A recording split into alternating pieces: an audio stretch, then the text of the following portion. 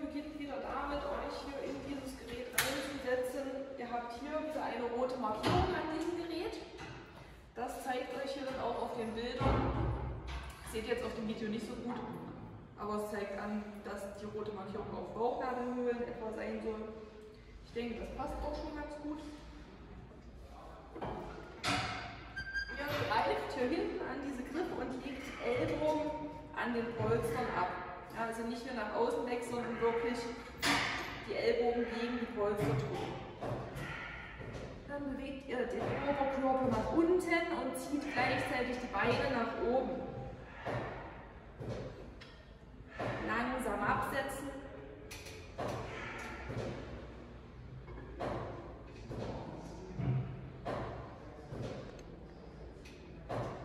Wenn es euch nicht möglich ist, hier langsam abzulegen, dann ist das Gewicht wieder zu hoch.